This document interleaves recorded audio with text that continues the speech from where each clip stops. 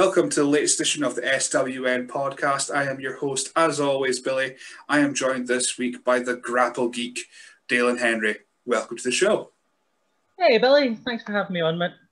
Um, yeah, I, am really excited to get you on the show because uh, you're a bit of a geeky dude, which is much like myself. So I'm sure we'll, uh, like we said just before I hit record, we'll probably spin off into some tangents that are non wrestling related. But uh, that's the beauty of this show where we start speaking about wrestling and then just just We'll go, we'll go into the Avengers and those pop figures that I see in the background. We will definitely speak about the Avengers. Right, okay. So uh, before we do that, though, first question, always the first question How did you get into pro wrestling?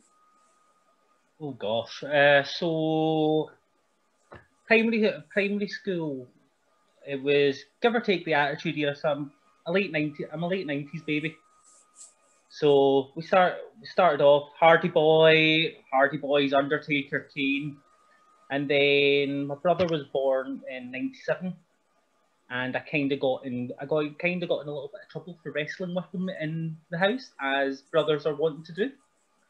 So my, my parents kind of banned me from watching wrestling for a wee while until I was so 2006.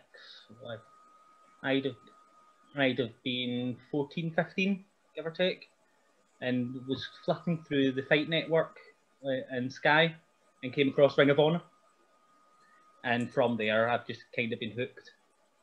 Oh, I remember the I remember the, it was the wrestling channel when I started wrestling watching channel, that was it. the wrestling channel with the with the amazing Jushin Liger uh, advert. I don't think I'd ever actually seen a whole match of Jushin Ligers at that point, but I remembered the advert, and I still remember the advert. Um, the same the same one with uh, the Colt, uh, Colt Cabana and uh, is Darren Burridge, Team Shag. Yes. Oh, so just, bizarre. Also, if you also Celebrity Deathmatch was on it, and that was the first time that I'd ever actually watched anything like death, not deathmatchy, but even sort of mental like that. And as you can imagine, the first time first time I had that in the telly when my mum walked in after banning me from wrestling was an interesting experience, just to say the least. I know, but you can't even throw out that it's it's not real. It's I mean wrestling. it's, it's, you can't exactly. you can't win. But oh, it's live death match. Yeah, that was on. I was always on too late, uh, so I didn't get to watch it. But you'd end up. I'd find like this is before YouTube, so I'd, I'd find like a VHS or something like that and aged myself incredibly in that moment um, of, of like the, the best. Have you ever of, played the game as well? No, no, I never, never played it.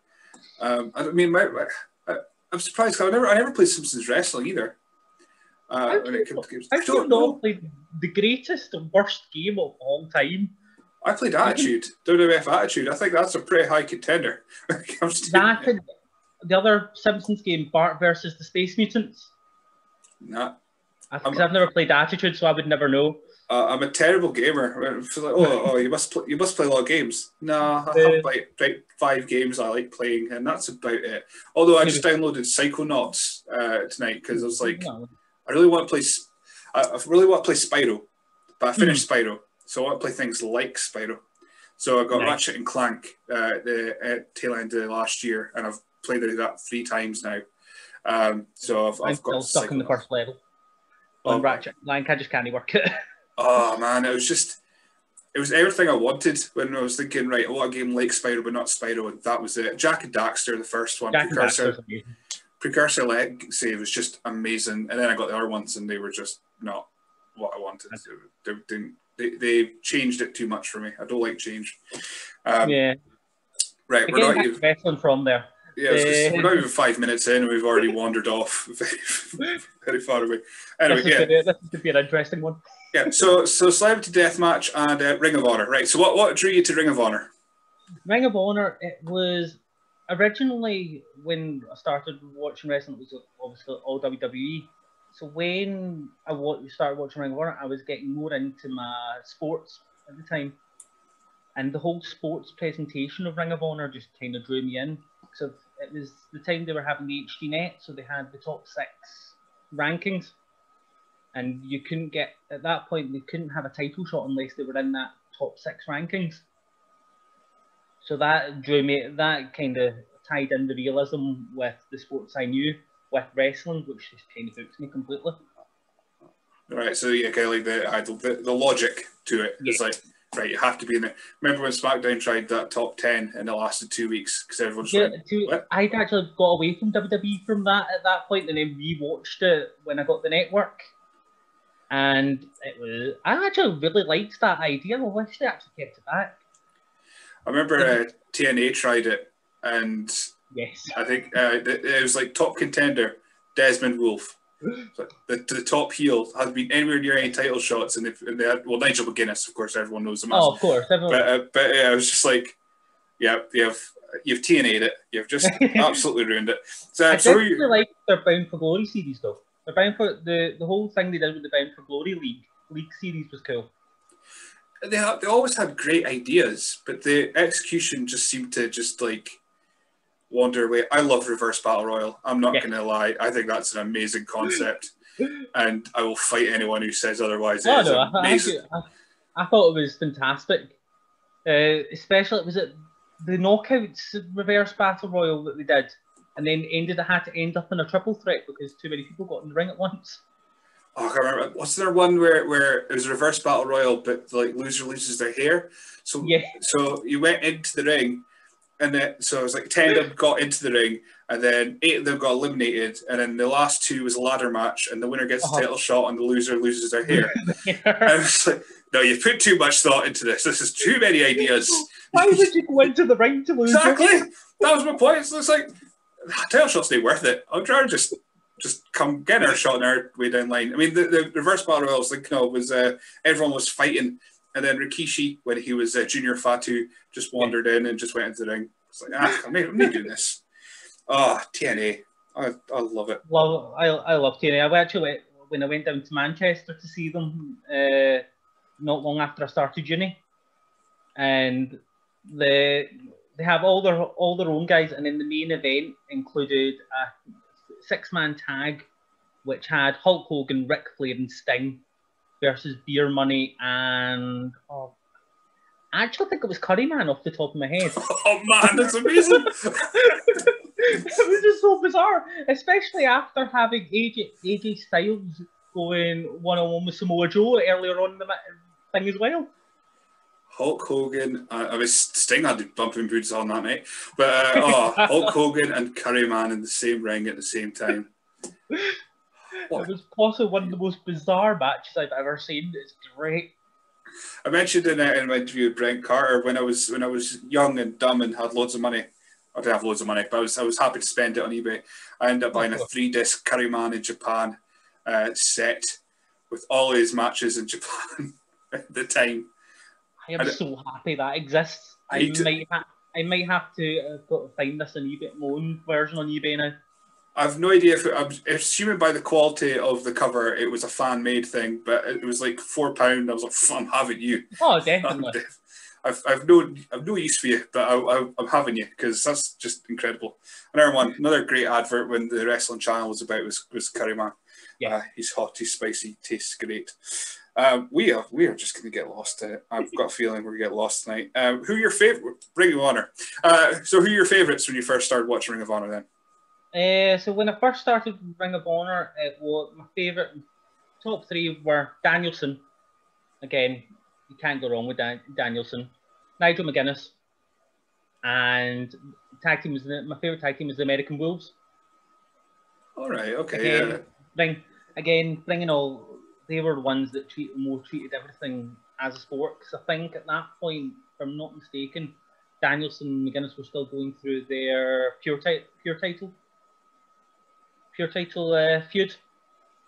Might have been a wee bit earlier. I might have watched that back afterwards.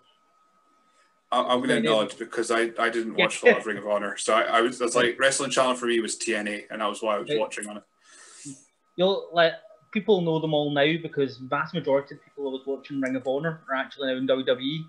So at that point, because Roderick Strong was there, Tyler, Tyler Black's and now Seth Rollins, Chris Hero, uh, Dan, Nigel, Daniel, Brian, who else? Jimmy Jacobs was and was for a while, and now he's over. I think he's in TNA now, actually. Yeah, I think, I think he's supposed to be writing or something like that. Yeah. I, I remember uh, my only memory of Jimmy Jacobs, uh, other than when he passed through TNA was uh, Wrestle Society X. Yeah, him and Seth Rollins, him and Tyler in Wrestle Society X was amazing. Doing it for her. Which I had to love as well. It's the Simpsons. Uh, the Simpsons reference made me made me happy. Oh man, I'm going to need to find that DVD. I think they're all at my folks' house, unfortunately, including Curry Man in Japan. Um, oh, you go find it. Them and Te- Teddy Hart and Wrestling Society X as well was an experience. Teddy Hart in general is an experience. it's kind of, the worst that is, I kind of want to see a show with him on it because he genuinely does. Like he's one of the few wrestlers I've seen that actually genuinely looks like he's insane.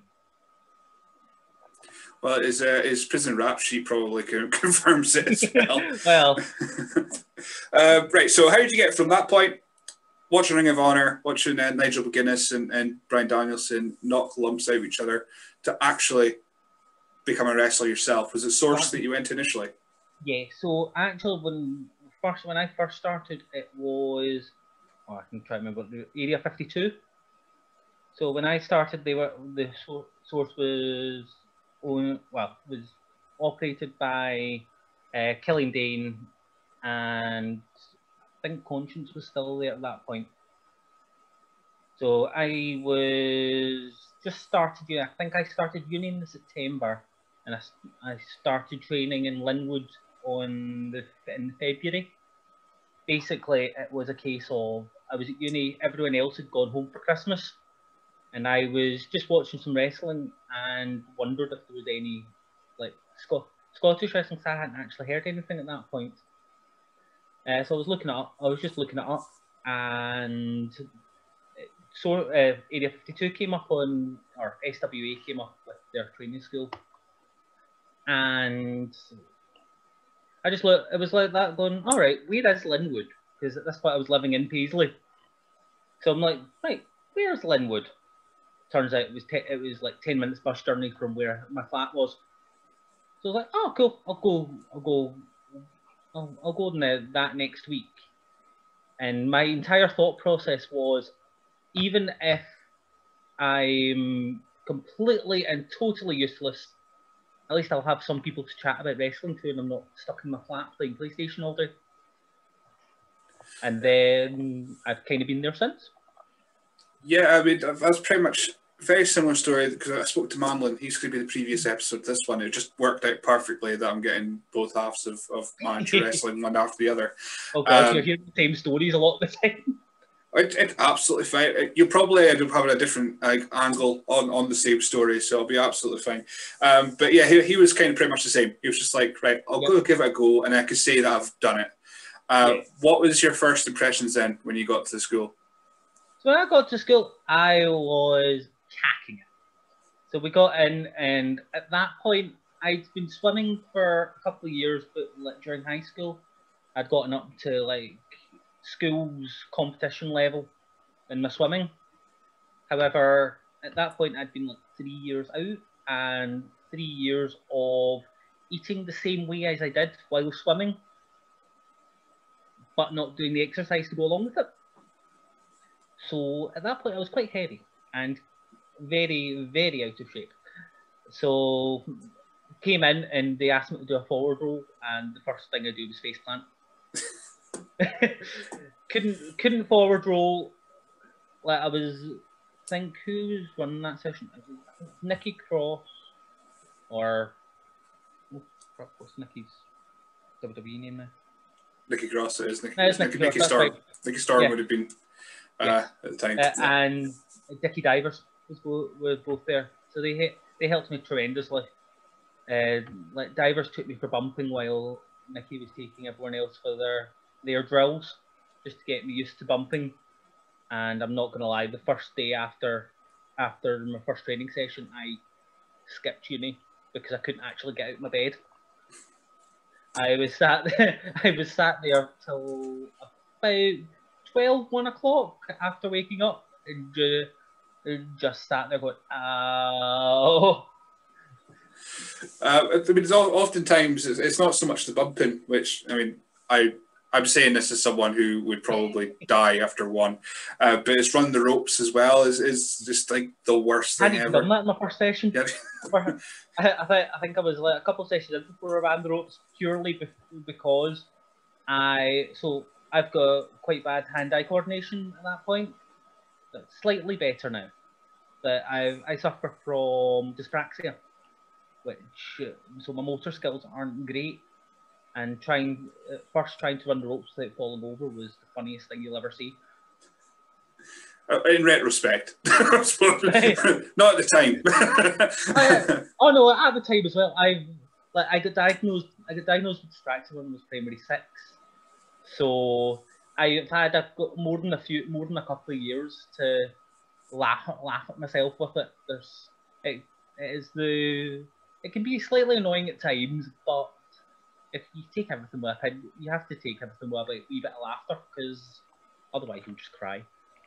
oh yeah, But- yeah. I I fall up. I even now I fall upstairs constantly. I think I think my one year old daughter falls less than I do. So So, so that's definitely a challenge then, especially if you're not just running the ropes, but trying to, to is it just trying to gauge distance and all that kind of stuff. It's um, must be a lot of of like just, was there a lot of extra training that you got just for that, just to and no, not so much extra training. It's not so much extra training. It's for me. I was always told when when after I got diagnosed, my mum kind of made, made it and dad kind of made it into a mantra for me that dyspraxia doesn't mean I can't do something. It just means I need to work a little bit harder to manage it. And it's kind of always been a mindset I've always been in. So even when I started out, I knew that I was going that there was going to be a lot of stuff that I just wouldn't really get first time. And over the years, it's just became second nature, and I've gotten like I've gone from not even being able to do a forward roll in in my first session to now I can cartwheel without even blinking. So it's as long as I, as long as I keep practicing, nothing is really going to can't really stop. It's not going to stop me too much.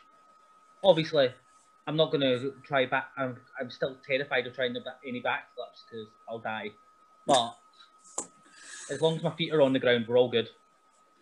Uh, so, so the high, the high flying uh, nature. I mean, is that, is that what lends you to your more uh, ground based uh, attack? I mean, I mean, you also being a fan of, of the pure title Ring of Honor stuff. It, it's it's very much based in a in a grab body part and Yes. torture it kind of style. Yeah, so that partly partly does come down to it it was a way of kind of compensating for my dyspraxia was to go a lot more grounded and a lot more like towards the Ring of Honor style. However, the other part of it was bef- like during when I first started training, I was also starting jiu-jitsu. So I've done that for about six years now, on and off. More more no gi than in the gi. So I've, I've only got my blue belt in gi, but I've done with the jiu-jitsu and with wrestling. I've kind of just combined them together because it's just what I know and it's just easier so I easier to remember that way. And certainly when it came to, to coming to schools, I mean, it, it was just five minutes from, or five, ten minutes from your house. So it was the, um, the convenience as well. But source wrestling really kind of prided itself on, on the wrestling Yeah. portion of things. So you had guys like Glenn Dunbar and uh, coming, uh, taking classes and, and being able to um, work through the, the, the logic of moves and body parts and Yeah, all that yeah. kind of stuff. So Yeah. it certainly seemed like a match made in heaven between Oh, yourself yeah, and that it- school. I think I think that that is definitely true. With Dunbar's helped me out ridiculous, ridiculously, even outside the ring. So, funnily stuff. Uh, Glenn Dunbar actually lives only about twenty minutes from my house just now as well. So I actually see him all the time, and he's essentially just my wrestling daddy at this point. So he's probably going to slap me for, for saying that on camera. Uh, either make, making him make him sound old or just the, the, the overuse of the word daddy now has I feel- a bit creepy. he'll he'll he'll outlive us all. and you know he knows it as well. So. When the world ends, it'll just be Dunbar wrestling cockroaches. there's if there's one certainty in life, yeah. The world ends. Dunbar sat, Dunbar sat there with his pose with Scorpion just playing in the background. um, so, so uh, from from that point, you started training. Um, do you remember who was? Uh, uh again, I'm going to refer back to the Manlin episode. He was saying you you were in the the next class above when he started. So, uh, do you remember anyone that's still around this day in your class? Uh, in my class, so I've had lots. Obviously, when I first started, can't think there was anyone still. I know Tom Fulton was in my first session. Tom Fulton was in my first session. Uh, DC, I think DCT was in my first session. No, DCT came later. But the first like shows, run of shows we did. So when I graduated, so it took me about three years to get to get onto my onto shows. From so I've been training about three years at that point. And on the same show that I debuted on, we had Isla Dawn, uh, Joe Hendry, myself, and Dave Conrad all debuting at the same time. So as you can imagine, Island Island Joe have gone on to do amazing things. Dave did some stuff. I think he did some stuff with Discovery, some stuff like ICW. They've done loads of. He, they've all done went and done their own thing, and they do absolutely amazing. Quite quite a wee a wee class to come into. Yeah, you're right. Isla Dawn, NXT UK, Joe, Global, Everywhere. But, uh, uh, Ring of Honor which which is must be kind of a bit weird that, that you're thinking Ring of Honor is where you kind of fell in love with that kind of wrestling, and then you've you've come up with someone who's now in Ring of Honor. it is a bit bizarre, especially because I still watch it. I, I watch Ring of Honor still all the time. The pure tournament is fantastic. Uh, so actually seeing Joe do his uh, Technic Tuesdays on YouTube for Ring of Honor is I'm gonna I'll I admit it's slightly bizarre. I, I, I know for myself, go and see shows when I when I started going in 2012 and, and seeing, um, like my first show I saw uh, it was Nikki Cross. I'm calling her Nikki Cross now. Uh, it was Nikki Storm versus Sami Zayn was one of the first matches I saw, and I was like, my God, I saw Nikki Storm. Now she's now she's on SmackDown or Raw or wherever everywhere. Um, it's, it's like as well with when I first when I first coming through as well and you see like you see all the Scottish guys going through WWE now, and it's like, Jesus Christ, we had we've actually seen these guys grow up here and then going on to the big leagues. It's mental. Gives you gives you that uh, national pride. You go, yeah, yeah, yeah, we're we're the best. Well, one point was it last year we had five Scottish champions in WWE, which I know craziness. Um, so what was it like yeah, that first still, show? Yeah, they still won't bring a WrestleMania over here. I know. I, where, where would they put it? Uh, I mean, I'd be selfish to go Pittodrie because it, that means it's along the road to me. Uh, well, I'm in Elgin, but it's close enough. It's a great stadium. I, I love Pittodrie. We went. I went up with so Dumbarton had a Dumbarton had a pre-season friendly a couple of years ago against Aberdeen, and we went we went up and it was I love that stadium. Not quite got as much fondness uh, for the Cali Stadium purely in the fact that we lost our big cup final there, so it still kind of hurts a little bit. Uh, but yeah, I'd, I'd, be selfish. Go right, put it in the northeast so I can go.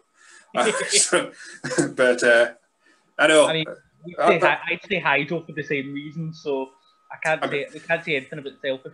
I think you could fit more people in the hydro than you could Pittodrie, quite possibly. So uh, that, that, that, that'd be. Uh, I I'm starting to delve into a football side of this, which I am not prepared for. So I stopped, I stopped watching football when I realised, ah, it's just as fake as the wrestling. I'd rather watch the wrestling, to be honest. so, be fine. Uh, well, especially now with this whole storyline with Rangers and Celtic. Eh? I know it seems to fight forever. Is that the is that the phrase they use in the wrestling? Uh,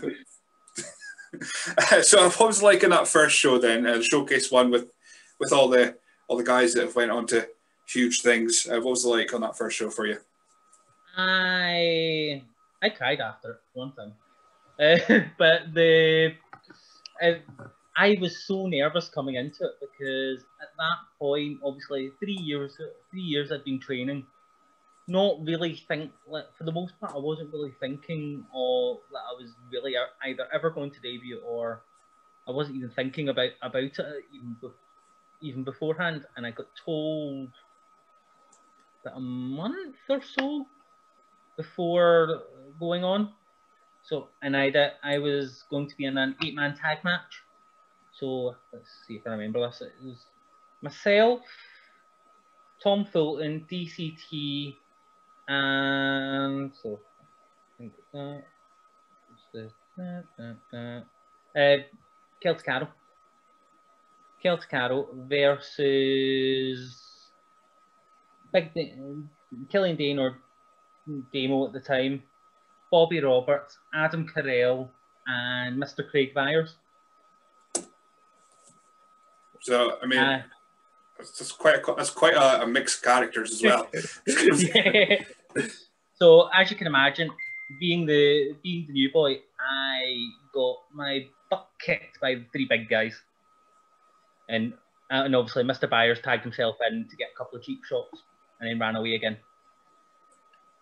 And then all the, and then they had the had Matt. I got I got my butt kicked until basically Byers got to Byers got to uh, cocky and started shouting at his own team, which is never a good plan. Never, in the plan. never a good plan, especially when they're like double the size here. And they all left him, and we killed By- we killed Byers. Everyone wants to see their teacher getting punched, so I'm not going to lie. Exactly. Um, so, so uh, I mean, one thing I usually ask when I say what were your first matches was that uh, was that a showcase show was it an actual yeah, so that was a that was showcase. That was a showcase. Uh, was that in Govan? Yeah, so we were doing, we were in Govan at that point.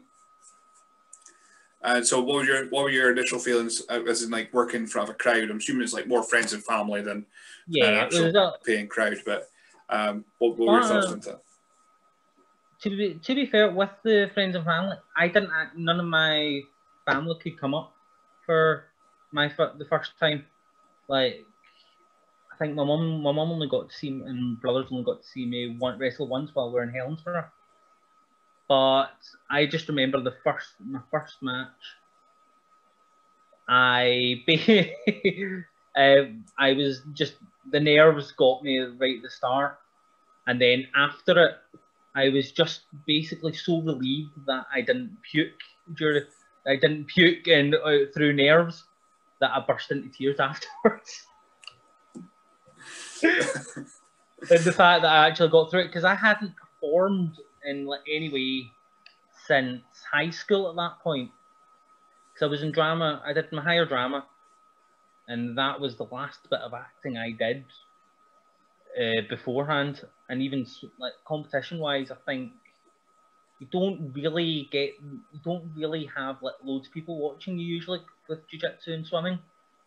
Uh, it's you're in one crowd, you've got like six different mats going on. Same with Taekwondo, you've got six different mats going on, so you've not really got the sense of anyone's watching you. So coming into this, I had no experience essentially of working a crowd or anything, and I managed to survive. Yeah, uh, but that's the thing. I think I spoke to I think it was Bradley Putley's now Mayhem Brooks. Um, he he kind of had the same thoughts. He did kickboxing and his his thing was he'd always he was concentrating on himself. I mean, yep. much like yourself doing jujitsu, uh, but then adding concentrating on yourself, making sure your opponent's safe, uh, and not looking like an idiot, and working with the crowd, and it just becomes a whole different beast. Uh, so. It's, uh, you're right, yeah. The with with the mindset's completely different. I mean, when you're doing like sort of shoot shoot competitions, you're not thinking about anything else but winning. With wrestling, there's you've got to worry about your, your you've got your character you work on. You've got making sure you're safe, making sure your opponent's safe, making sure the crowd you're still acknowledging the crowd. It's a lot to try and remember. Uh, so how did you get from there to Manateur Wrestling? Now, Manlon, he, he has put in a story, and people would have heard it if listened to the last episode, which they should have. Uh, what are your memories of how Manateur Wrestling became to be? So, I, so me and Manlon actually met at a Source Christmas party. So we're sat, both of us, I think Manlon only had a few months at that point, if even. And I, I'd been there, I'd been there a, a couple of years, but hadn't debuted yet when we first met. And so we basically sat down and chatted about T- he, CZW and Ring of Honor. And he was the first person other the, that I knew that actually knew who CZW and Ring of Honor were. So we had a proper geek out at that point. And even that, even today, we still like the CZW is what the CZW in death matches. Me and him still have massive geek out moments. Uh, but so from there, we any training session we were at together, we were just chat, chatting away about different stuff. And eventually, I think it was his his second match and my third match off the top of my head, because uh, I think he had he had a match with Mr. Byers first, and then we had our ta- our first tag match after. And the who's I think it was Jam O'Malley uh, put his started just going look you two are gonna ta- gonna tag together if you want to do anything. And basically at that point, Manlon was doing his very hyper very hyperactive character. Which I'm I'm still to this day slightly concerned that he was just parodying my normal personality at that point. Right. Okay. he he denies, but it's quite it was quite similar. So where he he was very hyperactive in, in doing all his stuff, and then there was my, me being a somewhat straight man who can wrestle. It just kind of blended together, and the term Manateur Wrestling uh, basically came together because I was obviously just doing my straight laced amateur wrestling, trying to be Kurt, Kurt Angle at the time, mixed with him being the manliest of all men. Even to this day, I mean, look at that hair.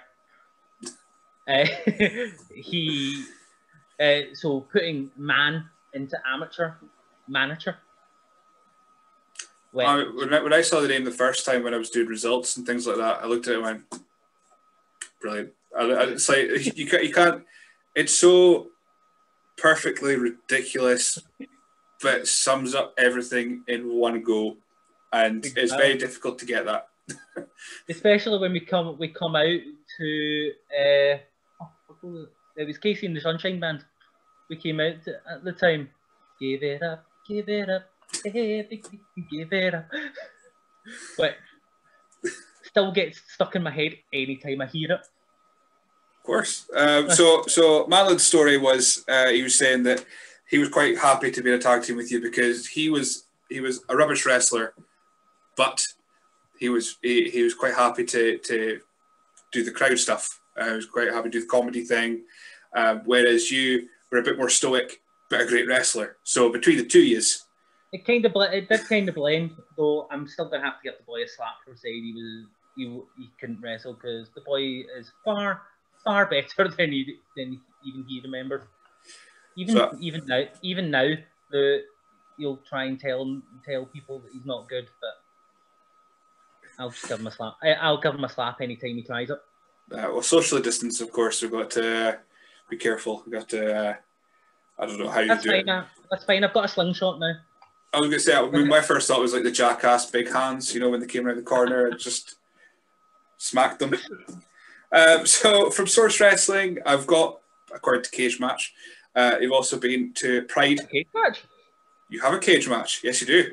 Uh, uh, Pride Wrestling, SWA, of course, and Caithness Pro Wrestling, which I think was 2019. I think your trip up. It must have been because uh, yeah, well, CPW ended last uh, in 2019. Yeah, so it would have been it would have been 2019. I'm, as you can imagine, I'm not the greatest with dates. Uh, but yeah, so that, and then I've done, I had a show, I think it was 2018 in Helensburgh for, oh, what was it? Entertain EPWA. I can't remember what their thing is. I think it might just be Entertainment Pro Wrestling, probably. I think so. Yeah. So they were down, they were all, they were doing a Scottish tour in Helen, and one of the dates was Helensburgh. So I got to wrestle in my hometown, which was amazing. Was, uh, was that the one that you got your the, your family and that were able to get yeah, to? they managed to come. They managed to come down, which is funny because I actually didn't tell them until about two hours before the show. I'd had to jump by my mum and dad to grab to grab a razor because I needed to I needed to shave and forgot I'd only moved out like the week before, so I'd left all my stuff there, including my razor, and had to jump back to get it. So oh, I need a razor. Oh, by the way, uh, get down to see some wrestling tonight. I'll be there. Uh, Pretty much. Uh, but yeah, I was, I was I wrote down Caithness Pro Wrestling specifically because we're, we're I seem to be collecting stories of, of the travels up there uh, between Lucha DS, Madeline, and just everyone that seems to be wow. traveling from Central Belt up to up to uh, the, the lofty heights of Thurso and Wick. Um, but you faced Madeline in your last show there. So what was it like? I mean, I'm sure you probably had some 101s, or I don't think you did actually. Uh, 101s with Madeline. Uh, we had two, two or three, I think, off the top of my head. Uh, though the one with the one at the one at Caithness is actually probably the funniest story. So we we at that point we'd been going back and forth we'd been going up to Caithness for about a year at that point, and I was I was going through my with my my spy I had my Spider-Man hoodie on at that point, and uh, so we had a we had a match, and I somehow injured my ankle. So I don't even to this day I'm not entirely sure how we ma- how I managed it. Uh, like nine times out of ten, me and man will almost murder each other, and like in the in the absolute nicest way. But that one, we said to each other, we'll just have a nice sporting match. We're not we're not going we're not going to die, and it's the one time that I come home and I mean I have to go in crutches the next, crutches for two for two months. Gee, that's more than just an, a, a, little ankle injury. Then it's, it's, it, it's turned, turned out my turned out my foot had actually trebled in size because I torn all the ligaments in my ankle. Oh man, but that was a fun couple hours on the way back then in a, in oh, a car, cramped with everyone. It was okay. Thank, thankfully, uh, C, CPW took care of me great, and I, I by the time I'd elevated, by the time we actually left the next day, uh, I could sort of walk on it and I was hobbling. And because obviously we're sitting down for six hours coming back to Helensburgh or to Dumbarton at that point, I was fine. I was the biggest thing was actually the net like a couple of days down the line when I'm trying to go back to work, and also I live an hour and a half away from work on public transport. So trying to get a train while when you can barely walk it was not fun. And I suppose the worst thing about that is to go, how did you do that? And you can you can literally go, I have no idea. I don't, I don't no, know. Uh, I think I if I I think it was basically I took a bump while Manlon was standing on my foot. That that's as much as I can kind of figure out. And I'm like, mm. uh, so during this weird time of 20, uh, well, 2021 now, uh, you have been kept busy during the whole lockdown thing yep. by becoming a father. Yeah. Uh, so is, is that kind of kept you bit, well, I was going to say a bit sane, but from my experience speaking to other parents, because I'm not one myself, uh, it's not the most, uh, I don't know, it's not the most sane-worthy thing, I suppose. Uh, but, but has that been keeping you more occupied of, of having no wrestling at all, being able to go, right, that's fine, I've got plenty of time to to do the, think, the dad stuff. Yeah, I think I'm probably the only person on planet Earth that can actually turn around and say the lockdown's actually been really good for me. I mean, so I've had my so Lily was born in November of 2019. The February of 2020, my mum died. So obviously that's a mass. I've gone in four months, gone to being a being a dad and losing a parent. So as you can imagine, from like March through to like June, I was I couldn't do anything but uh, but uh, stay in the house and do anything, trying to get, just work, focus on myself and try and get my head together. And I swear, if I didn't have Lily just to make sure that I got out my bed, got out of bed, I had to go and obviously you have to look after all her feeding, all all, all the nappies, the, the night shifts. That I would not have coped well at all if it wasn't for my wee angel. And um, we're, we're, we are going to keep things happy and light. Uh, but the, oh, the, the other bit, the, the, other thing that happened to you during this whole lockdown was, of course, um, uh, your dog being put down. Am I right in thinking that as well? I mean, uh, yeah, there was that. Where, where again, thankfully, I had a wee we had a wee bit. So we've had far too much death over these lockdown. It's, it's bizarre, uh, bizarre and just horrible. But seeing Lily just growing into the cheeky monkey she is she is now has probably been the most rewarding thing I've ever done ever done. Like so she she was born nine pounds nine pounds nine. So she was a big baby and first thing she does within two, three hours of being born uh, we had she had her first temper tantrum. Because she wasn't getting she wasn't getting fed as much as she wanted, despite already having is more milk than anyone else at this point. This was like two hour two hours, and all we're hearing is rah, rah, drink, rah, drink, rah. um, and even uh, even now, it's funny. So trying at the moment she's allergic to milk, soya, and tomatoes.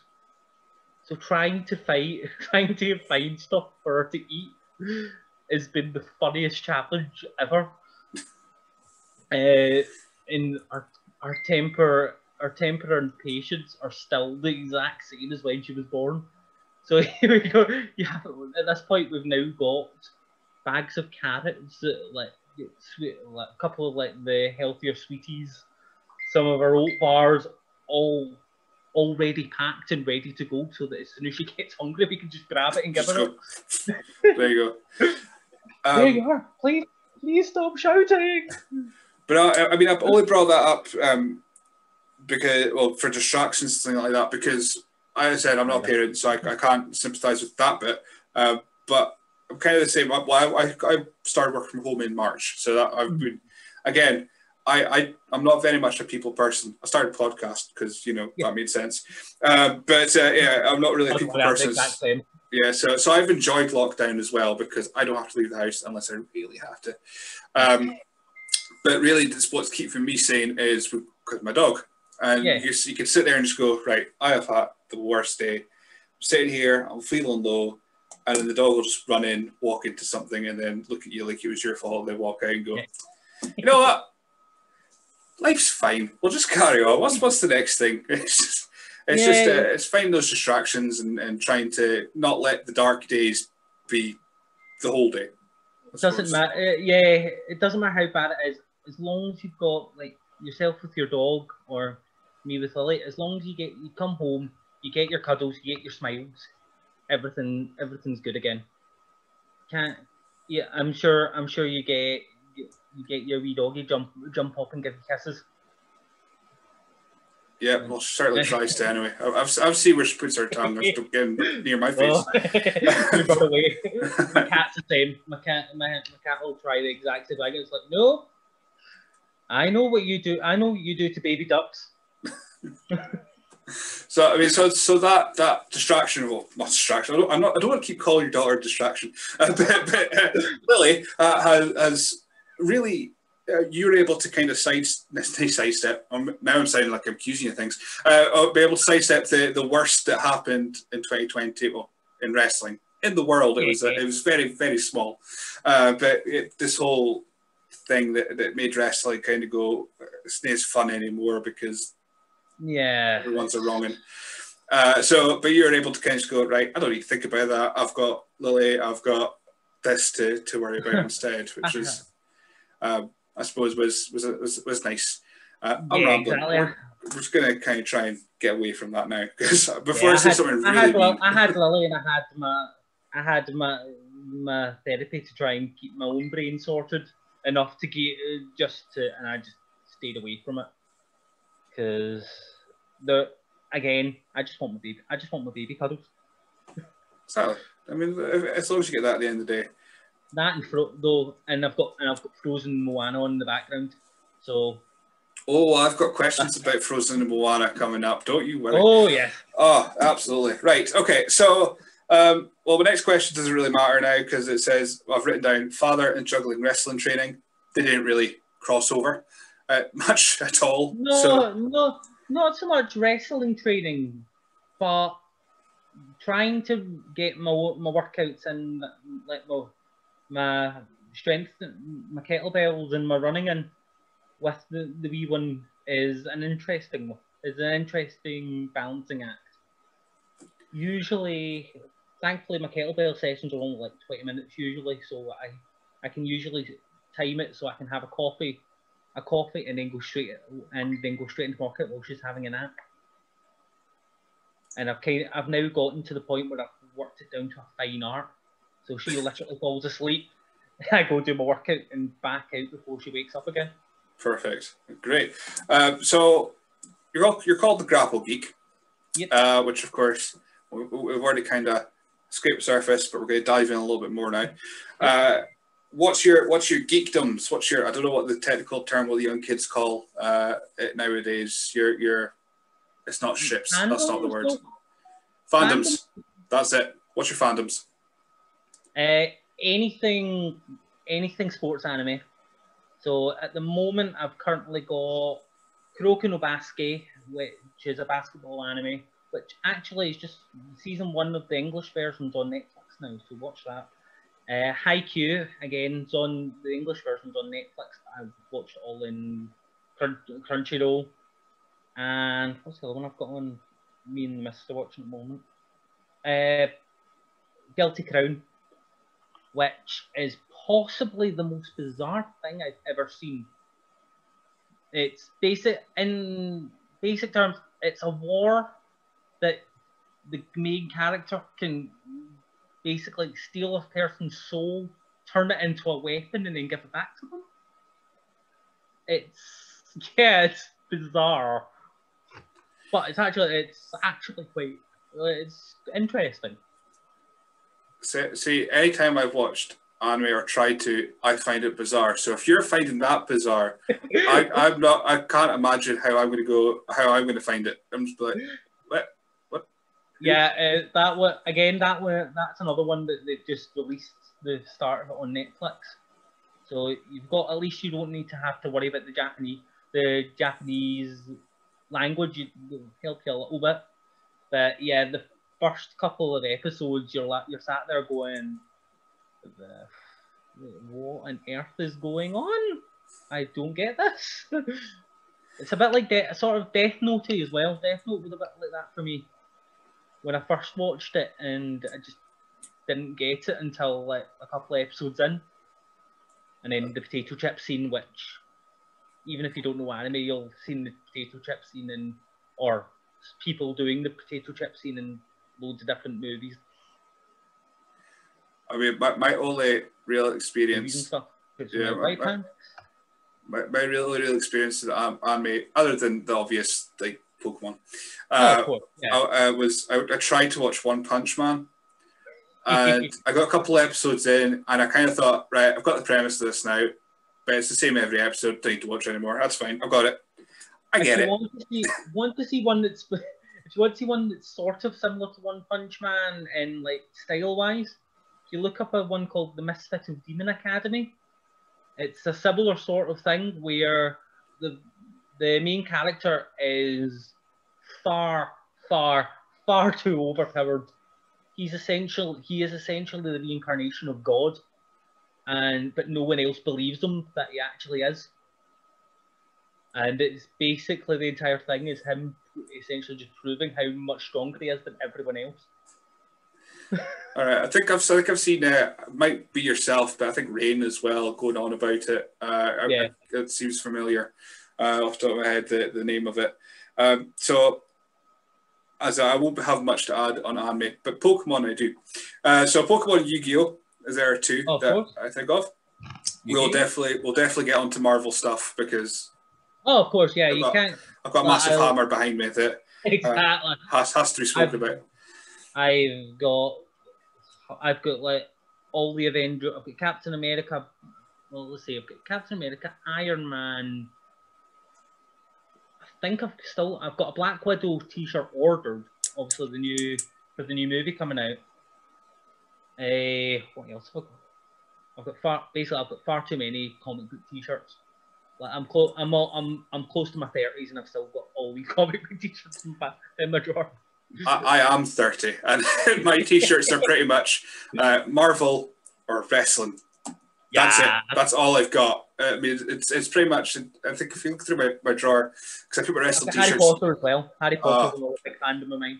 We'll speak about that as well. Uh, but yeah, I've got uh, my wardrobe's just full of wrestling t-shirts because they don't fit where everything else is. But it's, it's pretty much half of it's Deadpool t-shirts, and then the rest is just random Marvel t-shirts.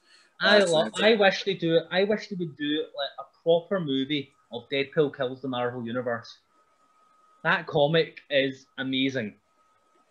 I have I have read some of it. Um, I think I said previous episodes like I like the films. That's pretty much. It. I try to pick up as much as I can from from reading odd comics, except Watchmen. Watchmen's the only comic that I'm graphic novel. It's called, I suppose. Yeah. Uh, that I've that I've loved and read all the way through multiple times because it's just. Funnily enough, that's Incredible. probably the one I haven't. ah.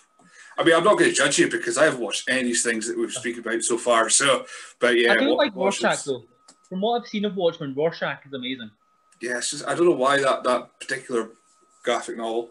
Um, just yeah, I could read it constantly. Um, but yeah, uh, I have read bits of, of Deadpool kills the Marvel universe, and I think if they ever need to kind of do a mirror wipe the slate clean like they did it in at uh, Endgame, Yeah, I mean that could do it.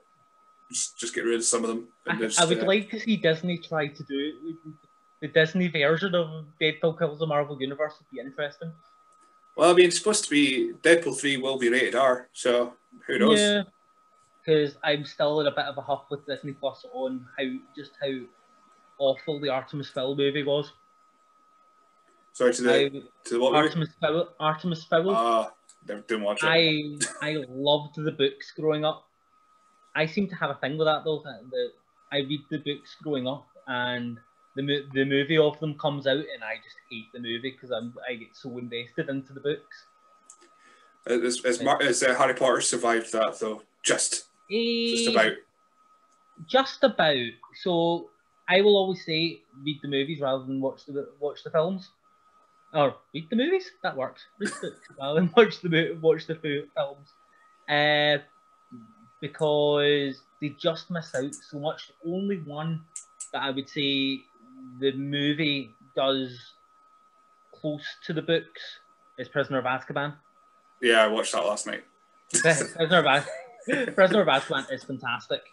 Like Goblet of Fire, they missed the entire Quidditch World Cup, which is just it just makes me sad. Uh, the f- and they missed out my favourite scene in in Philosopher's Stone as well, when with the uh, potion bottles, with Hermione and the potion bottles. But To, to anyone watching this or listening to this, this is very much similar to conversations I have with my wife. we have to start on Azkaban. That's because she's like, "Ah, I think I don't care about the first. I mean, I like the first two, but Azkaban is where we start in our, Oh, yeah. our rewatch thing. Azka- Azkaban's by far the best movie. Uh, without a shadow of a doubt, Azkaban's by far the best movie. Uh, I've got an inherent hatred of Half Blood Prince movie because it's just a rom com. Order of the Phoenix is the one I hate. I can I see where you come from. But surprisingly, it's that's probably my top three books. Order of the Phoenix. Oh yeah, I absolutely agree. But yeah, it was the only one I watched in the cinema, and when it finished, I went, "Wait, that?" yeah, that was me. That was me with Half Blood Prince. I, like me and my, me and my fiance, uh, I have full on rant to her about whenever she tries to put Half Blood Prince on because I, I despise that movie. it's the one, the only one that I just, just can't handle. Half Blood Prince, uh, sorry, Order of the Phoenix tested my relationship early on because uh, it, it, was because because she was like, right, we'll watch Harry Potter films. Oh yeah, cool, it's fine. I like the Harry Potter films, and I spent the whole time in Order of the Phoenix going, that's a bit rubbish, that, isn't it? Why is he doing that? Oh, he's been a right winch this whole film. Yeah. And the end, she went, right, I'm not watching of Phoenix with you ever again. went, that's fine by me because I think it's the worst one. So that's, yes, exactly. That's all okay. Oh no! Like the audio, like the audio become Stephen Fry, it's far better. um, but no, have you, have you been down to the? I'm assuming you have. Went down to the London studios and. and I'm ashamed to say no. We're, I'm ashamed that I haven't yet. Uh, me and me and Rocky are hopefully going to go down once we with the wee one once we get a wee bit of money together and one obviously when this whole situation, COVID situation, starts to die down a little bit. I would rec- recommend checking like it is on Groupon stuff like that. They usually yeah. have some deals on. That's how we went down twice because right. we, we spotted it on a and it is on. It is.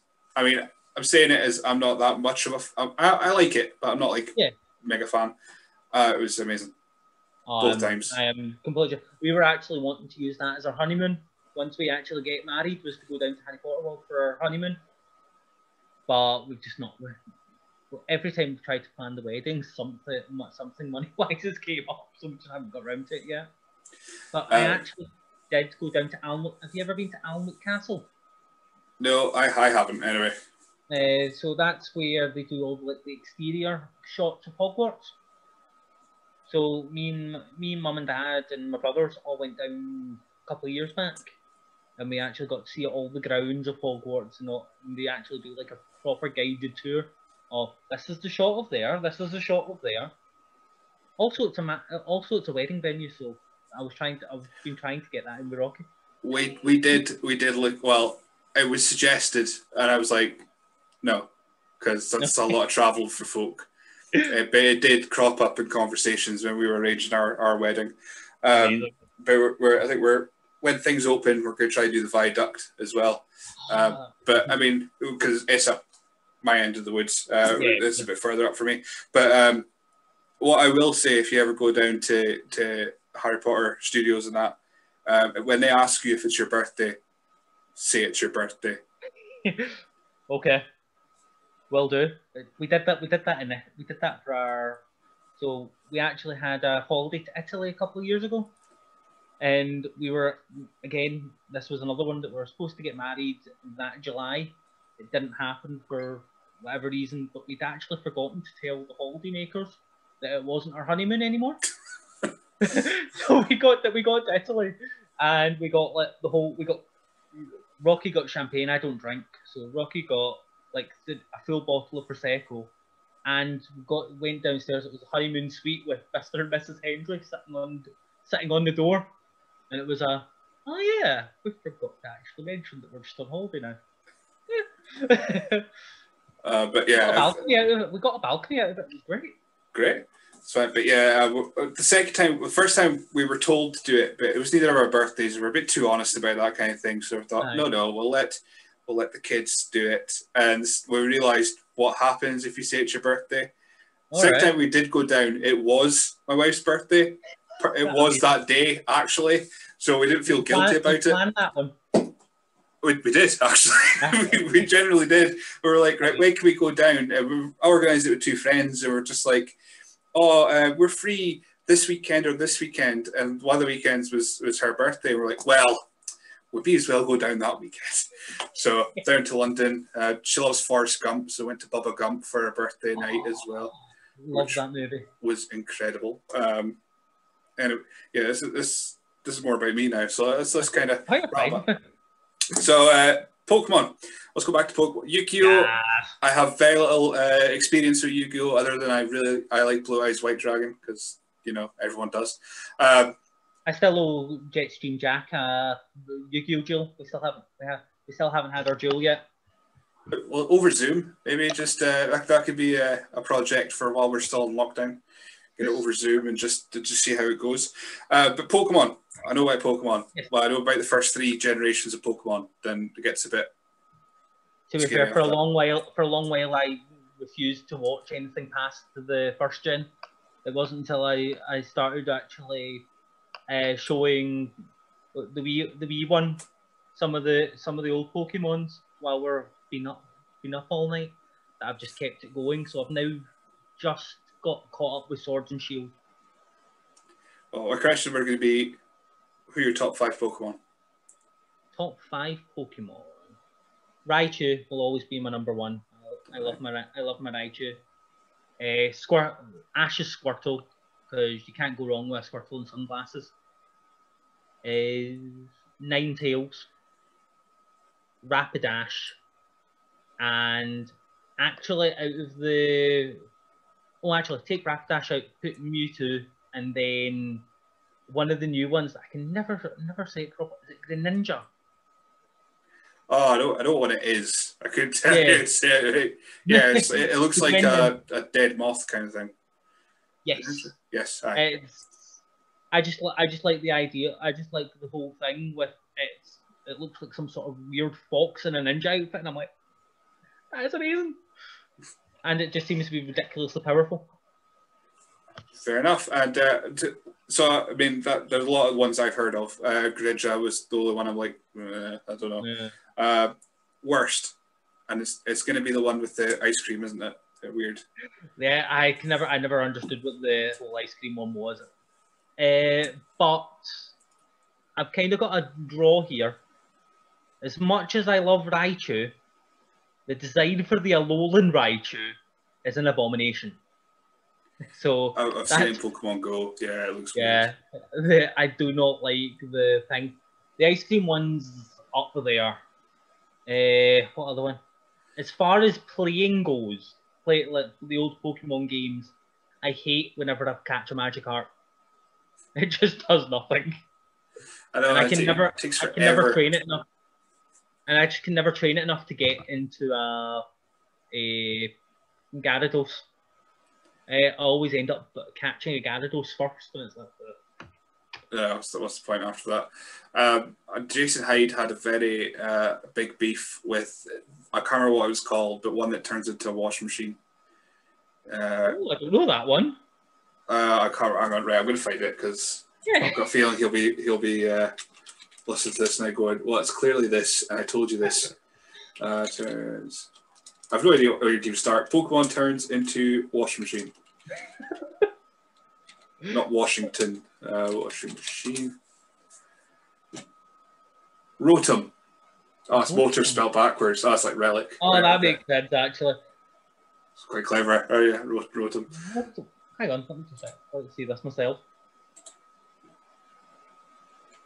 Oh, it literally is a washing machine when you first yeah. look at the images. So there's a fan, um, uh, a fridge, I'm guessing, a lawnmower, and an oven. I've obviously not, yeah, I've obviously not gotten to this pit and Sword of Shield yet because that is disgusting. they really have just they they really have just ran out of ideas for things. It's like they're sitting there just going, "What do you see? Wash machine. Throw some eyes on that thing. That'll do." I've now got an I've now got an image of the next bunch of Pokemon being like a high chair with with eyes. Uh, there probably is already. Um, I'm throwing out just a, a personal favourite just because of wrestling related, but I loved Machamp. Machamp is amazing, yes. It, it, it just I... ticked all the boxes for me as a youth watching wrestling. It was like youth. Like, like also, with, also with growing up with doing also growing up with doing taekwondo, I've got a wee soft spot for Hitmonlee. Oh, of course. Yeah. Yeah. Though I've noticed in, in the new game, so while I was playing Pokemon Sword, that they've got a baby version of them now that does that's a grappler.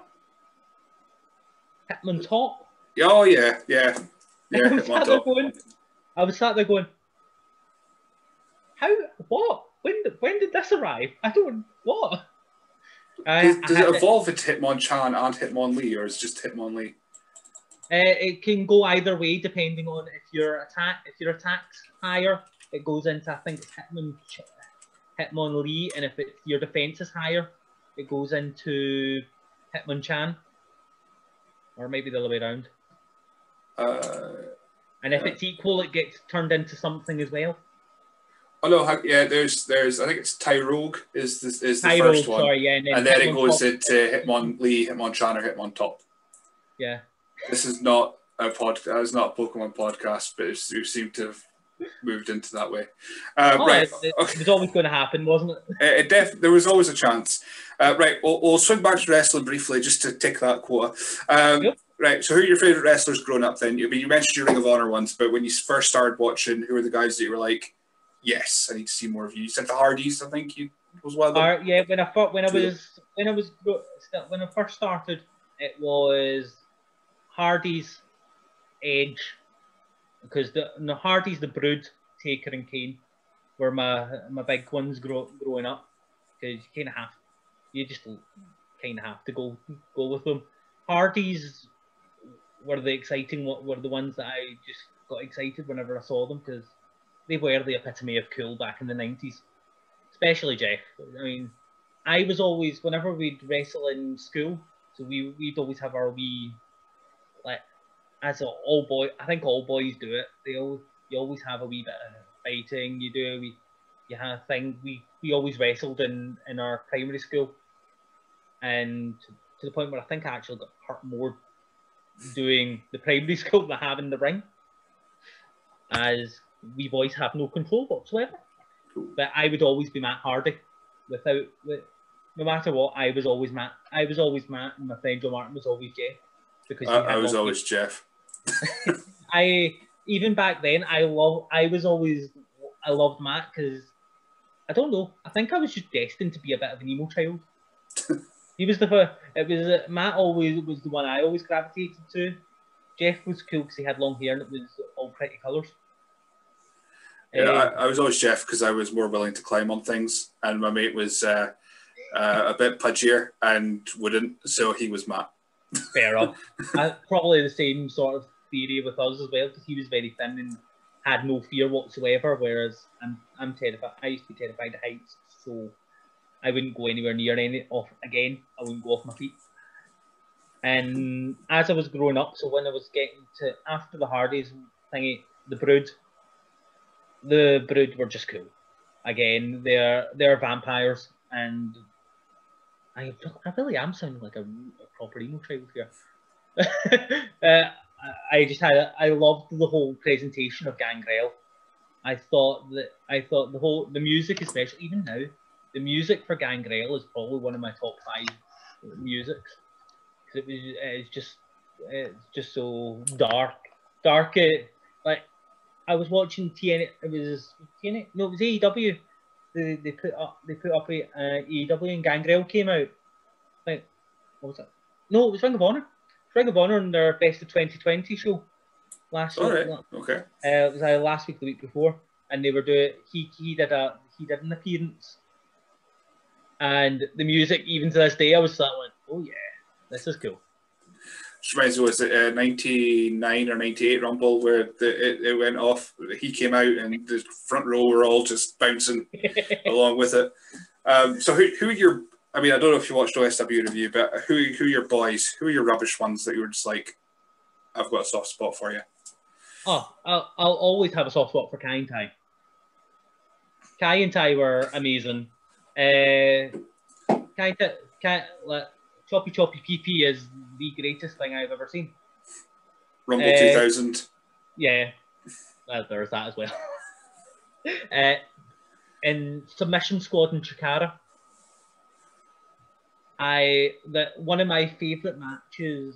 Uh, not that you'd ever think think of it purely from watching me in the ring, but my one of my favourite matches of all time is the Gentlemen's Club versus Submission Squad in Chikara. And it's just bonkers and it is hilarious. It's so it's so so funny. Uh, uh, again, Chikara's not a, a, promotion I've seen my, many things of. I do remember something about a, a, a imaginary bomb. Yes, I I I love that Scott. Uh, especially if you want if you want the best one best one that if you one time to watch it, watch one where Tommaso Ciampa does the spot. It's a big six man with Tommaso Ciampa in it, and everyone else is everyone else is playing it up and then Ciampa's just sat there going, What is going on? no punch. As an example of a straight man in a comedy spot, it is absolutely genius. That's where it has to be. Yeah, absolutely. Obviously, with the Gentlemen's Club, they've got the sw- they've got a character called the Swamp Monster, which is just a guy. is I can't even remember who wrestles under it, but it's full green suit green suit of just tassels that's made to look like seaweed. And he's doing all these moves, and you're like, what? And Toru Yano in New Japan as well, I love. So yeah, so so coming out as a as a, as a straight laced uh, grappler, uh, but your real love is some oh, comedy wrestling. If I had if I had Manlon if I had Manlon's charisma in any form, I would totally, I would totally do comedy wrestler. There's still time when you come back when when the when the wrestling returns, you can uh, go full grapple geek. Aye, people can forget that I'm uh, that I'm actually not funny, and then we'll, we'll just we'll just have jokes the entire time. Why? Not? I mean, yeah, absolutely. Strange uh, things have happened. Go for it. Obviously, my as well as my comics up, like I'll I'll always have a soft spot for Minoru Suzuki. This is ah. the dichotomy this is the dichotomy of Grapple Geek. You've got my love of comedy wrestling on one side, and then on the other, Tim Thatcher, Tim Thatcher, Minoru Suzuki. Norman Smiley is um, is my boy.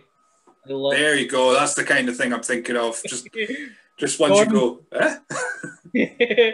Norman Smiley. If there's a wrestler that could do absolutely everything, it is Norman Smiley. I, when you look at him, he's got no right to be able to be as amazing as he is. No. With the with the receding hairline back to the the uh, soft spot on his skull, to just the, the amazing bushy tash. Hmm? It's just yeah, screaming enormous, screaming It doesn't matter even what he's doing as well. It, like you see him in WCW and you play a lot like a comedy character. You have him in UWF and he he's actually murdering everyone. and you're like, I believe you either way. How is this possible? Because he's Norman Smiley, that's why. exactly. uh, right, okay, so that's the wrestling bit done. Uh, the other thing is, uh, you, have also been, uh, during this lockdown, you've been getting feedback from uh, Shady Natras, who we've got uh, in an episode previously. Uh, did you find it? I mean, he's been around for ever. Oh, um, did you find that he, he was able to kind of uh, pull some bits? Yeah, and... watching what. So I sent her. I sent him my my last match that I did, and it was me and Robert Wishart. So and so I sent him him that match over, and some of the stuff that like watching the match back and then listening to what he was saying, there was a couple of wee bits that I'm sat there going Ah, yeah, that would actually made it a wee bit, made it a wee bit more thingy, and just gives me a, another opinion because not only have I sent stuff to Shady, I had I sent a match me and Andy Wild to both uh, Chris Ridgway and Tyson Dukes, who both gave me great pointers as well. With the just obviously uh, Chris and Tyson do a bit more of the same sort of stuff that I'm doing with the whole technical, technical, almost shooty, almost shooty, uh, close technical style.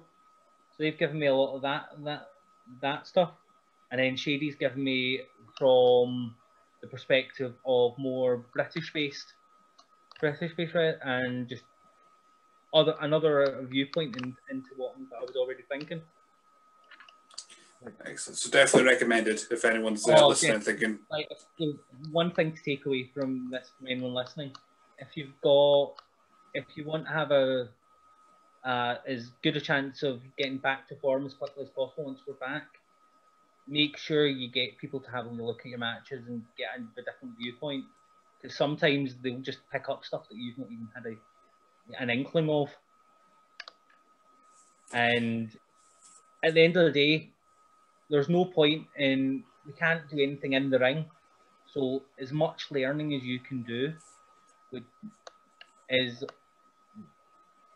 probably the best way of not wasting our time while in lockdown.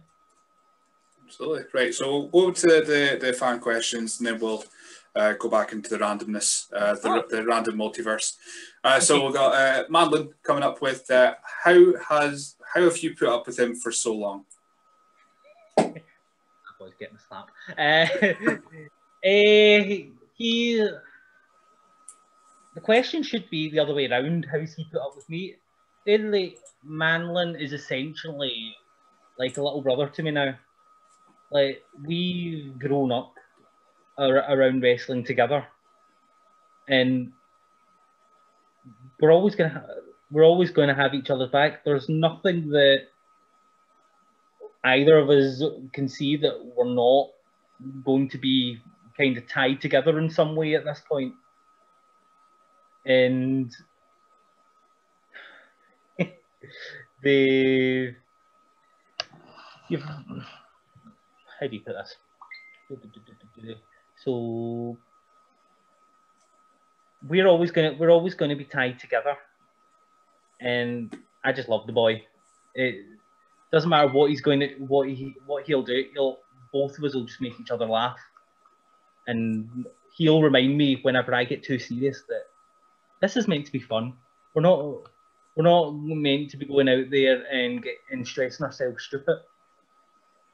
This is a, this is our this is our fun space, and he's the one that reminds me of that probably most often. I mean, the overriding arc of pro wrestling is it's a bunch of guys fighting in their pants for a belt. Yep. Or a cummerbund. Uh, actually funny. I I seem to have lost clothes the longer I've been in wrestling. I started out with a singlet, headgear, head, singlet and headgear. Then moved to a singlet. Then moved to shorts, and now I'm in trunks. With no knee pads, which I don't know. Something about that always gives me the fear watching wrestlers with no knee pads. it's just, it's just like I don't want to see your kneecap around the other side if something goes wrong. That's just it's good. I mean, when Andy Wild started doing it, it just gave me the fear. I was like, no, please. Yeah, I don't want. I don't want to see your kneecap on the other side of your body now. It just creeps me out. Uh, but if people find it comfortable, if that's the way comfortable wrestling, then you, you do you do you. But oh, I don't know something about. It. It's also weird when I see people wrestlers who wear wrist tape stop wearing wrist tape. I'm just like, that looks a bit odd. why, why, are you doing that? Funnily enough, as we were talking about dyspraxia, one of the things that I've actually started doing with my wrist tape, with my wrist tape, is that I actually have, if you everyone anyone knows, I actually have an L and an R on my wrist tape, because without without me looking at my hands, I can't actually tell my left and right. So I need to actually uh-huh. look at have I've got L and R on my wrist pad, so I actually know which hand I'm using. That is um, that is super clever. it's like a little cheat code that you've got. code. Um, otherwise, but, I have to constantly do that to try and remember my left and right. Ah, but I was speaking about the wrist tape thing. When I, was saying that I find it weird when they go from not wearing wrist tape, no, to wearing wrist tape to not wearing. Uh, I went to SmackDown live show in Aberdeen, and uh, uh, Jack Swagger came out. Jack Hager oh. now he's called, I suppose and it was a squash match against probably Kurt Hawkins, and he came out lazily with no wrist, no no wrist tape, nothing, just a singlet on and knee pads and boots. And I was looking at it going, I don't like it. I need you in, in wrist tape, your your fist taped up. Look prepared. You just look like you just went, oh my god, it. Uh, okay, I'm gonna go. Just, just it's, it's such it's such an odd pet peeve to have. I, I miss his spiky hair. When he was Jack Swagger. His haircut as Jack Swagger was amazing. I think they, they gave up on the, the the Swagger soaring eagle way too early. yes, that and be the people again. I love that gimmick. I think it made it even better for folk like uh, over here. I had no idea what it was about. Like uh, the whole "Don't tread on me" stuff, yeah, it well over my head. I didn't need to know about it. I just liked that everyone went "We the people," and I didn't even get the the the, the football connotation that could apply. I was just like going, "This is cracking. This everyone's joining in, and it's it's uh, it's pretty good." And then it's something so small as well that everyone joins in on. That that's what I I, I love. I love little details that can that everyone can just get behind. Is amazing is something I love. And then they went a bit weird with the whole Glenn Beck stuff, and this is just yeah, it. They, they ruined the fun by making it real, and they just yeah. uh, spoilt it. Stop putting real things in wrestling. We just want to to have fun and yeah, watch we'll silly things. Keep submissions, but that's it. Anything else can any any any outside the outside the sport stuff in wrestling can go. Exactly. It's supposed to be our escape at the end of the day, isn't it? Exactly. Uh, so the, the other thing that you're really into is well, I don't know, it's not by choice. Uh, Moana and Frozen, uh, from your recent tweet saying that that's pretty much your life now. Uh, yes. Uh, though to be fair, we, she's we've now got we've now got a third rotation, third thing to rotate in there as well, which is a couple of children's TV shows called Bluey, which has the greatest theme tune of all time. Is it better than X Men the animated series? It's catchier. Oh, Not, okay. I it's better, okay. but uh, it's one of these ones that if you'll hear it once and it'll be stuck in your head for days. Okay, that's fine. I'll avoid it as long as I possibly can then. Uh, best song then. I have two films. Best song. Uh, Actually, three films. You can yeah. include Frozen 2. Hmm. Just so you can get lost in the woods. It, change, it changes day by day for me, honestly. Uh, I, I I'll have to go. I'll have to go for. I, like you're welcome from Moana. Again, I you kind of can't go can't go wrong with that one. From Frozen Two, I would probably say. Uh, the moment because it's stuck in my head. Uh, the sorry, Frozen One's Fixer Up, Fixer Uppers from Frozen One. Yeah. Stuck in my head and the oh what's called do the next right thing from Frozen Two. Again, what's that again? I lost yeah, the woods. Really mine sad. one. That's really sad. I love I love both love and hate Lost in the Woods. It is just so cheesy that that it's, it's wonderful. Yeah, yeah. The whole video as well, and then uh, yeah. was it is it Weezer that did the the yeah, grown up cover. cover of it? and they just copied the whole video. The I a lot. I'm kind of disappointed though. When I was looking it up, uh, they had a whole. They've got like other songs on the soundtrack that they. It's like deleted scenes. And if you like Lost in the Woods, one of the deleted scene ones called "Get This Right" is basically Kristoff trying to propose to Anna, and it is again the pro so cringy that it is amazing. They even have like on YouTube, it's got a storyboard, a storyboard of what they want to do with it, and it includes like Kristoff jumping into space onto a star and sliding down with the big hearts coming out to a proper cheesy. It, it, it wouldn't be out of place in like a, mu- a proper musical production. So if you learn anything from this podcast, get plenty of advice on your matches and go check out the deleted songs from Frozen 2. yeah, exactly, pretty much. um, and obviously, and never, and never trust an Alolan Raichu. Or a game. Or, or, or Rotom. yeah, or Rotom. uh, also actually asked, I forgot to even ask you this one. Uh, what is your favourite, I'm going to speak about wrestling again. Uh, what is your favourite death match stipulation? I'll always have a soft spot for Wrestling Society X's 10,000 volt cage match electric cage match, or the or the one where the the guy can't remember what the actual match is called, but he gets chucked into a piranha pool. Though there's also, speaking of Manlon, we, we were doing a sort of fantasy booking thing. A bunch of boys from Source were doing a, fa- a fancy booking show, uh, just as a just as a wee uh, team building thing, and Manlon decided to find a video of a, fa- a fireworks in the bumhole match. Why? you'll have to you'll have to ask him. Get him on for part two just to ask him that question. It was the most bizarre thing I. It's Japan, and they were the some of the stuff you find in Japanese death, death matches is insane. I, I I don't know where they come up with this. All I, I hope I hope to I hope and all that is good that they got paid handsomely for it because ow. Uh, take off as well, which is the worst of it. I'm like, ow.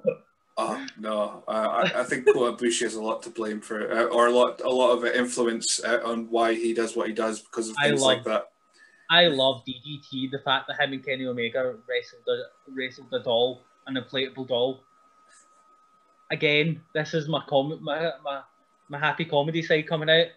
I love the, the I love the whole like DDT and how mental some of the stuff they can come up with is. Uh, Kenny versus the eight-year-old girl as well. And people think wrestling is is too serious nowadays, and things yes, like we're, that happen. Yeah, we're a pro- we're a proper we're a, we're a proper uh, honourable sport. I, was, I mean, speaking of, of, of silly wrestling society, we've already we've already slammed some of of uh, TNA. Although I will speak about their electrified steel cage, uh, but uh, yeah, uh, they also want that tables, ladders, and cervezas in Wrestle Society X with Jesus from uh, who stabbed John Cena. Yeah, I forgot that was him.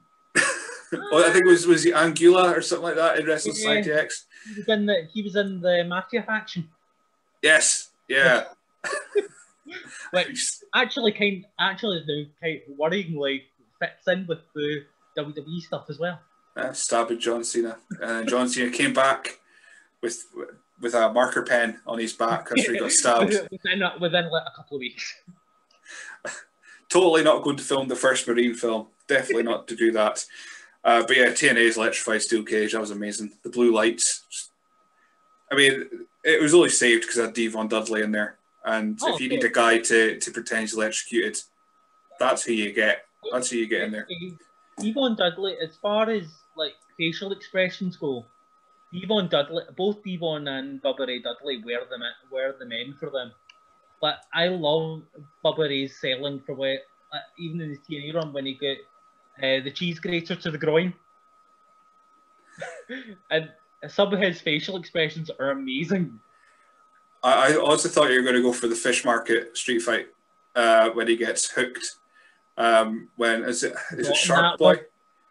Yes. Shark Boy uh, reels in a, a, candy bar, they would say in America, uh, on a hook, and he chases it and then bites it, and he gets stuck on the hook. and again, these guys, these guys are supposed to be the the the serious the serious multi multi time world champions, and they're getting caught in a fish hook. Literally fish hook. And then they get battered by by uh, a, a, timid wrestler who becomes a superhero when he becomes too uh, too too pushed around too much. And Super Eric. Who's now, um, who's now, who's now a world class maniac? I need, watch, I, I need to watch more TNA. just watching for Joe Doering. I was watching Hard to Kill last last night, and Joe Doering is amazing. I like I've watched a wee bit of All Japan, but watch I watched him in TNA, and it, he he's probably one of the few wrestlers that I'll look at now, and I don't want to mess with him. Like I'm quite confident in myself for as far as as far as um, martial arts and stuff are concerned, but I'm I'm not touching going anywhere near Joe Doering. He would eat me. I know, you look at him and think, oh, he's a guy in black pants wearing a big furry coat and a cowboy hat. He should be ridiculed, but he looks he looks terrifying yeah. at the same time. Um, yeah. as we're still in a tangent, uh, this is going to be one of, one of the most tangenty episodes ever. Uh, Jason yeah, Hyde asked, "Do you cut your sandwiches diagonally or sideways?" Again, I'm a heathen. I don't cut my sandwiches. I just, I literally put two bits of bread on some butter and whatever I'm eating and just eat it. Uh, for what will say, what will say for Lily, I'll cut it in squares, so sideways on that one. But myself, I just chuck a bit of bread and go, I guess depends on how lazy I am that particular moment in time. If I'm just like I don't want to dirty up a plate, I will just have it as it is without having to cut it. Um, oh, yeah, um, I, I eat my pasta out the pot most of the time because I don't want to cut wash a bowl. That's next level. That's next level. I don't call I call it working smart rather than lazy. Why give myself an extra job to do when I don't have? Exactly. I mean, I'm, I'm saying this as someone who likes to use the dishwasher quite a lot. Yeah. So why would I even bother? why would I even bother worrying about a plate? I'm just like, no, no, don't need to worry. Don't need to dirty up this plate. Uh, that's my dog whinging. Uh, but that's, that's fine. Right. Okay. Um, we spoke about the hammer before we, we, we went on air. Let's speak about superheroes. We'll do a 10 count, social media, wrap up. Job's a good one. I think that's the plan for the run off of this this pod. Otherwise, we'll be here for four hours, and and uh, which is entirely possible. Uh, top five superheroes. Top five top superhero is uh, Iron Man. Love. Do, do, from superheroes, does it count if they're not actually technically in the Marvel or DC universe? Oh, just just heroes. I'm, I'm just I'm not not fast to. Radioactive man. Okay. Obviously. Uh, who have I got? So Doctor Strange. Doctor Strange. Uh, oh, what's what's he called? It's one from an anime that I've just I've just finished watching. I'll come back to that one. Uh, as far as technically not a superhero, but he, they use their basketball powers as uh, superpowers. So Aomine Daiki from Kuroko no Basuke and um, All Might from My Hero Academia. Go. Uh, yeah, I mean, we're routine using superpowers basketball players. My first thought was Futurama, Harlem Globetrotters. yeah, I love I love Futurama. The like Bender. I've just finished the watching Bender's game because I've recorded recorded like every Futurama from season one. So I'm working my way through that through lockdown as well when Tiny's asleep. And I'm currently just on to Bender's game. Uh, so again, keep, keep you busy. Oh, before I go to 10 count, I've got to ask, what's your favourite dinosaur? My favourite dinosaur? Velociraptor. Ah, see, that seems to be popular in season two, I'm finding. Velociraptor. Oh, really? T Rex won the the um, the big award this year in our podcast awards, but Velociraptor oh. seems to be getting oh, picked by the rest. I can't be common then. So I'll I'll change it for pterodactyl. I can't be common. That's not allowed. No, Velociraptor, Ankylosaurus is getting quite a few mentions at the moment as well. Right. Which again, I when someone first said it to me, I thought they made it up. But then when they actually told me what Ankylosaurus is, I'm like, ah, oh, okay, cool. I know what that is. but, we've actually got it's a. I was trying to see if I had it here, but it must be in her room. Uh, Lily's got a book that it's hide and seek with dinosaurs.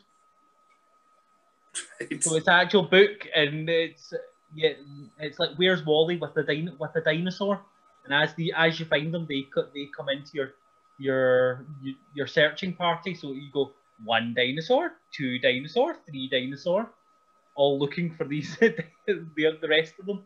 Cool. That sounds really cool, even as a 30 year old. Um, right, before we, we, finish up, then, I've got the 10 count. So that's 10 things, mostly wrestlers, but I've thrown in some other things as well. Um, okay. Word association, I'll read it out. You either give a word, phrase, whatever, just whatever you think of when you when you hear these names. Um, okay. So, number one, Joe Hendry. Prestigious. Two, Glenn Dunbar. Wrestling Daddy. Three. Never gonna get out of my head. Uh, three, Zack Sabre Jr. Uh, my love. My absolute love. Four, Sugar Dunkerton. Big, big Shug.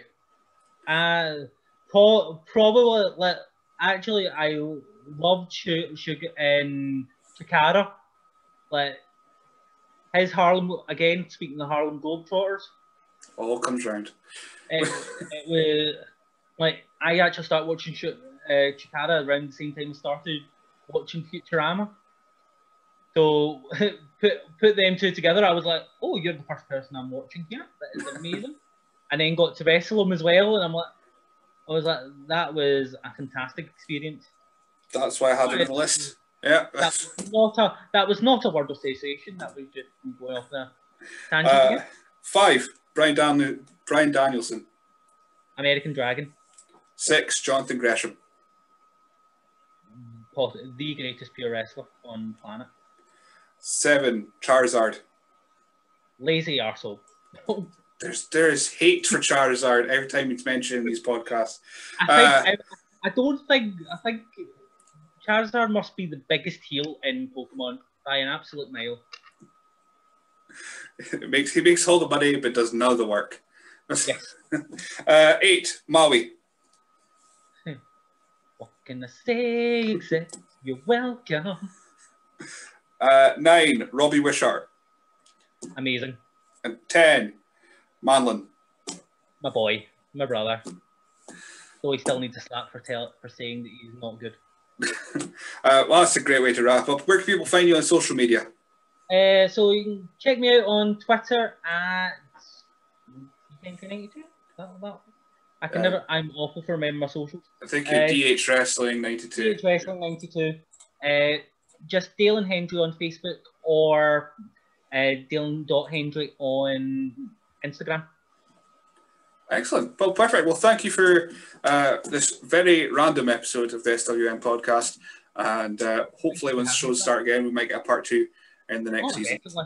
Excellent. But yeah, thank you very much. One hasn't driven me insane by then. Could it be a, a more random episode in that case? Yes. I win.